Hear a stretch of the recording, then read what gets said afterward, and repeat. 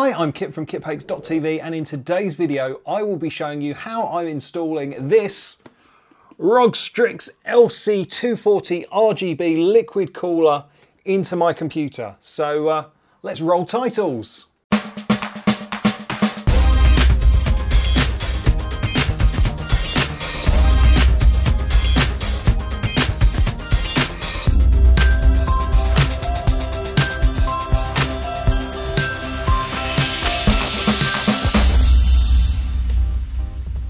So first off, I want to apologise, and it's probably never good to start a video with an apology, but I did promise myself that I would try and get this video filmed over Christmas, but I hit a little bit of a snag.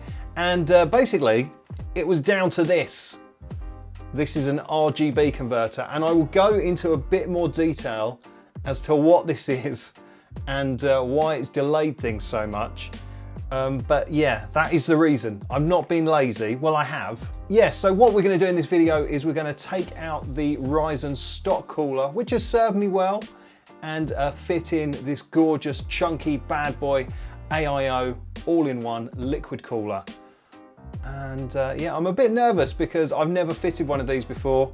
So uh, yeah, I guess what we need to do is get the computer unplugged, get it onto the table and uh, try and work out what we're going to do. So before we start, I guess we need a few things. First of all, we need a computer with slightly inferior air cooling. Then we need our shiny new AIO. Then we need some tools. And then I've got a bit of alcohol to remove the thermal compound from the CPU because we'll put some new stuff on.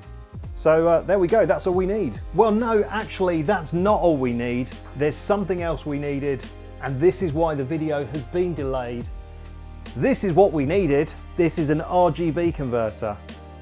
You see, it turns out that ASUS have got two different RGB systems. So this motherboard has got a, a 12 volt RGB system and that's fine. That uses the AuraSync, which I love, and that syncs up with my keyboard and mouse. But this is also AuraSync, but it uses 5 volt addressable RGB, and uh, the two systems aren't compatible.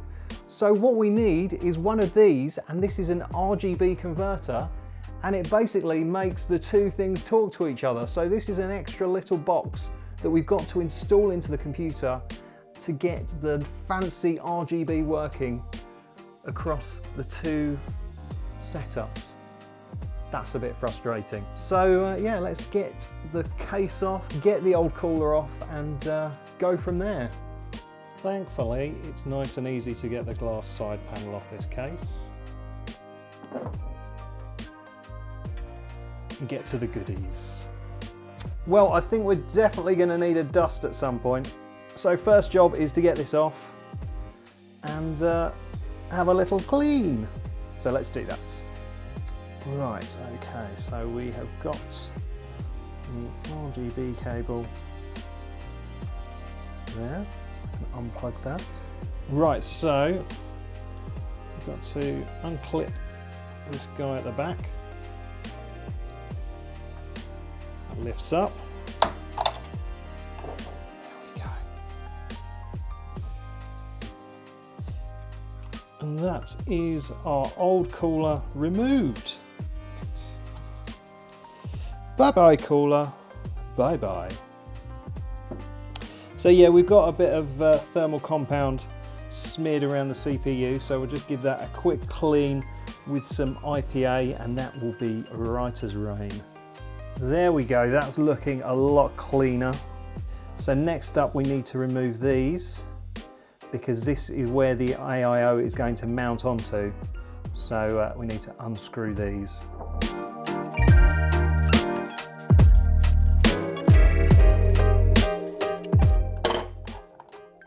Perfect, now that's out and it's released this plate that goes behind the back of the case. So now we need to look at the mounting for the AIO and also there's a few bits of thermal paste there we'll get rid of. Right, let's get on with it. Right, so we need to get this guy ready to go into the computer. So uh, you've seen me unbox it, so I won't go into too much detail. And if you haven't seen me unbox it, then uh, it's in another video and I'll pop a link up to it in the corner. Because we're using a Ryzen processor with the AM4 layout, that's what we need to set this up for. And I think it's already set up for an Intel processor, so uh, we need to fix that. And how do we fix that, I hear you ask? We need to change this mounting plate. So uh, I will do that. Right, so I need to turn this clockwise and take off the Intel mounting plate and then put this on anti-clockwise. There we go. Cool. Now this is the pre-applied thermal paste, so uh, don't get that on your table. and now we need to install the AM4 standoff screws onto our motherboard. So uh, let's do that. Right, so this backplate guy needs to go back underneath the processor and I need to install these standoffs. So the standoffs go with the bottom, chunky bottom, into the motherboard and you screw them clockwise. Now it's best to do them in a crisscross fashion just so the pressure is evenly applied. And then just move from corner to corner, tightening them up. Perfect. Nice and tight. Right, so now it is time to get these fans on. Now I'm thinking of having them like that, which is the way that you should do it. But I'm also thinking about the cables. Now I've got the cables sat at the back because they will go through my cable management holes. Now the fans have got two connectors. They've got the standard fan connector and then they've got the addressable 5 volt RGB connector. But yeah, I'm going to arrange them like that just so the cable management goes into the back and there aren't cables everywhere. And you fix them onto the motherboard with these very long screws. Now you don't need any washers, it's just the screw. So uh, I'm going to get all eight screws in and remember to work in a crisscross fashion. Wait a, wait a second. This isn't going to be the back of the case. This is going to be the back of the case. I need to reroute my cables. oh, as I say, I'm not an expert. Right, let's put the cables back through this way. And with that, we are done. Nice fans installed.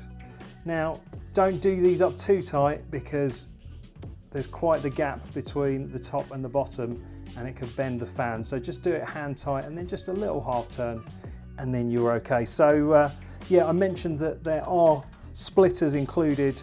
So that will take your two fan connectors down to just one that can plug onto your motherboard. Perfect.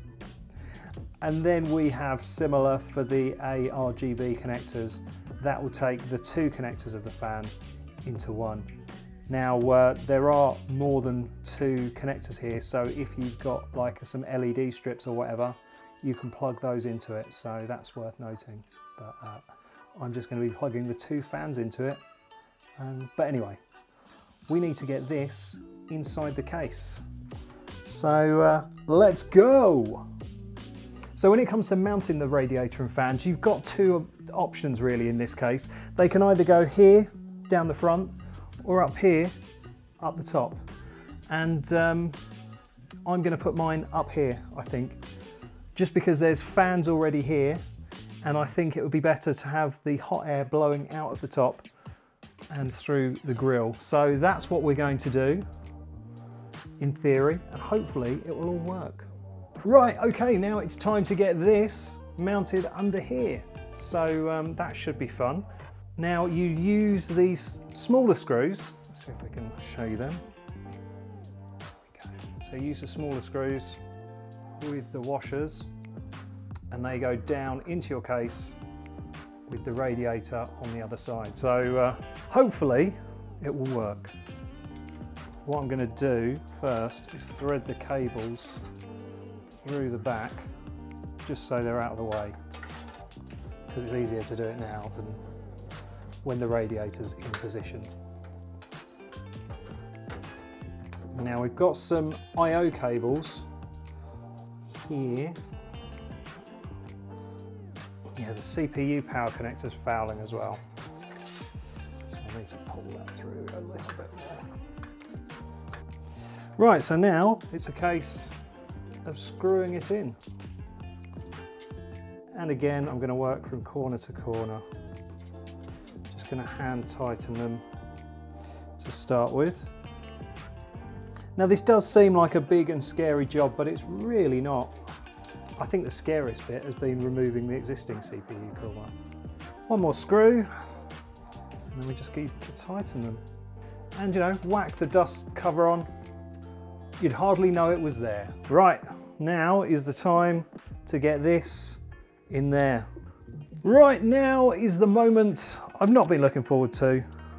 I don't know why, I'm so nervous. We have got to get the pump and the cooler plate onto the processor. So, cooler plate and pump, processor, cooler plate, processor, cooler, anyway, right. So, I think it goes a little something like this. That looks about right. And then we've got to screw it in with the thumb screws. These are the aforementioned thumb screws. So there's been a common theme through this.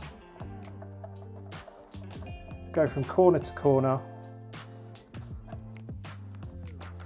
and apply even amounts of pressure. I think the idea is to make good thermal contact and not to screw it down into the center of the earth. Better tech YouTuber would have removed the graphics card, but we know I'm not a very good tech YouTuber. So this has got two connectors on it. It has this one, which is for the, uh, either goes on the AIO pump connector if you've got one on your motherboard, which I do down there, or it can go on the CPU fan connector of your motherboard. Um, it really depends, but yeah, I'm going to plug it in on the AIO, AIO pump. And then we have got this cable. Now this is essentially a micro USB cable that plugs into a spare USB 2 header on your computer's motherboard. So mine are down there. So uh, yeah, I've got to uh, plug some cables in now. Let's plug that AIO pump connector in.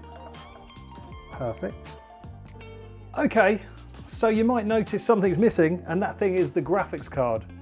I couldn't quite get the micro USB connector into there. So the graphics card had to come out there was no other option. Anyway, now I can get the micro USB 2 connector in there. And to help you, the widest bit goes at the top. Right, let's get the graphics card back in. Yeah, it could do with a clean anyway. So uh, let's give it a clean and pop it back in. Right, so now we need to plug this into a spare USB 2 port on the motherboard. Let's do that. Oh my God, it's so dusty. Well, we'll worry about that later. Right, so these are keyed, so they'll only go one way. There we go, that's plugged in. So let's have a little chat about this guy. This is the RGB converter, and it helpfully converts ARGB and RGB into just one standard thing. So basically my motherboard has a AuraSync 12 volt LED output and my AIO and my lovely radiator fans use ARGB, which is a different system. So this converts it. And this is the little guy. So uh, let's take the sticker off. So yeah, these are a little bit difficult to get hold of quickly. You can get them from China, but obviously stuff from China takes time. So what have we got here? Now at the bottom, we've got a connector that looks a bit strange, and that is because it is for this. Now this has a, a SATA power connector on, because it needs to get 5 volts to supply it. And it's also got the um, RGB terminal that will plug into my motherboard. And there's the connector that goes onto this box. And then around the case, we've got connectors for a, a 12 volt RGB and then we've got the connector for the 5 volt RGB. Now there are two different types of 5 volt RGB and I think this is the one we need to use for the AIO. So uh, yeah, and it is uh, magnetic and it does come with sticky pads as well. So basically, this is from the radiator fans and that will plug into here like so. And then, and this will go into a spare SATA power cable and this will plug into my motherboard. So uh, rather than go through the rat's nest of my cable management, I'm gonna get it all plugged in and hopefully, fingers crossed, it will work. Right, we've just got one last thing to plug in and that is this. This is for the fans. So uh, it goes in up here somewhere. This is tighter than a nun's habits now. Well, after a ridiculous amount of time and a lot of swearing, that is in place. Oh man, right. So in theory, I'm allowed to remove this now. Should we power it up? I'm really nervous. I'm really nervous about this. Right, so the motherboard's got power let's give it a go. Oh, hello. Oh, yes. Yes! It lives! Oh man, that is super cool. Let me just turn this light off over here and hopefully that'll... There we go.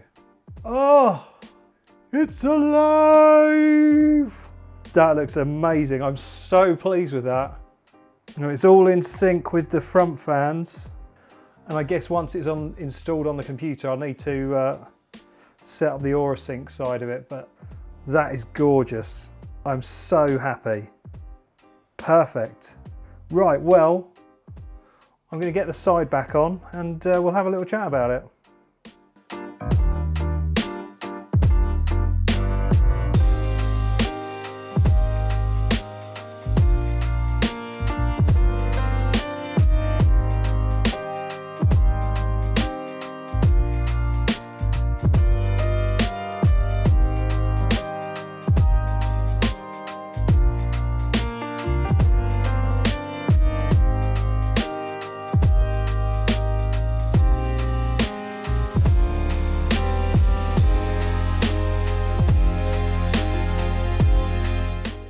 I mean, it's actually all gone pretty well, to be honest with you. It took a bit longer than I planned, largely because I was filming it all and I have to adjust cameras and stuff like that, but that's my fault. Um, yeah, it was pretty easy to install. I didn't have I didn't have any real problems with the installation. It was a bit fiddly in places, especially getting on that uh, fan connector at the top there. But you know, this is the first time I've installed an AIO and it went pretty smoothly, really.